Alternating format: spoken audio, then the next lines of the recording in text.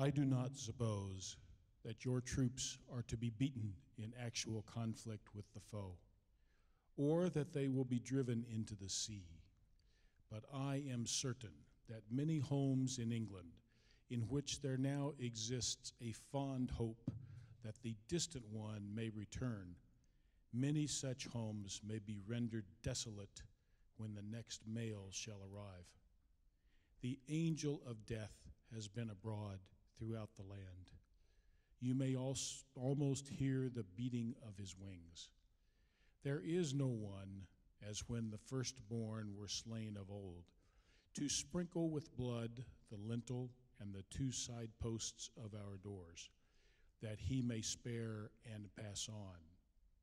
He takes his victims from the castle of the noble, the mansion of the wealthy, and the cottage of the poor and the lowly.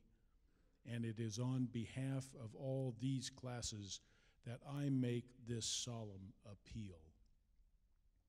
I tell the noble Lord that if he be ready, honestly and frankly, to endeavor by the negotiations to be opened at Vienna, do put an end to this war, no word of mine, no vote of mine will be given to shake his power for one single moment or to change his position in this house. I am sure that the noble Lord is not inaccessible to appeals made to him from honest motives and with no unfriendly feeling. The noble Lord has been for more than 40 years a member of this house. Before I was born, he sat upon the treasury bench and he has devoted his life in the service of his country. He is no longer young and his life has extended almost to the term allotted to man.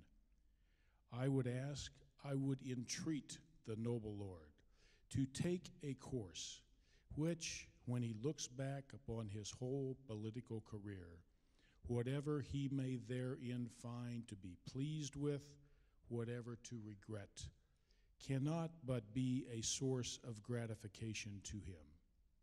By adopting that course, he would have the satisfaction of reflecting that, having obtained the object of his laudable ambition, having become the foremost subject of the crown, the director of, it may be, the destinies of his country, and the presiding genius in her councils, he had achieved a still higher and nobler ambition that he had returned the sword to the scabbard, that at his word torrents of blood had ceased to flow, that he had restored tranquility to Europe and saved this country from the indescribable calamities of war.